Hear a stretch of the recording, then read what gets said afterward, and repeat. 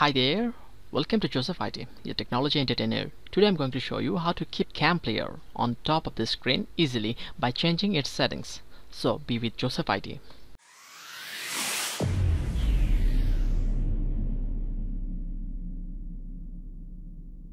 My last video shows how to download the latest KM Player. You can check it, but now I'm showing how to keep it on top. So simply open KM Player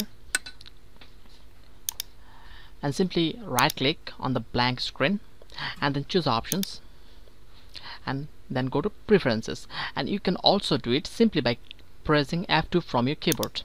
Okay? When preferences appears simply go to general and go to screen.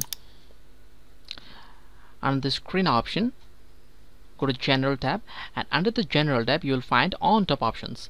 And on video it is by default it is given as never. Simply click on the drop down menu and click always. If you want it to be on top for always and if you want it to be on top at the time of playing any video and you can choose on while playing. But I want it to be on top always and which is why I'm just clicking on always. And simply close it. And now if you play any file or if you open KM player it will never be under any window of your computer. And this is a simple way of changing the setting and to keep your KM player on the top always.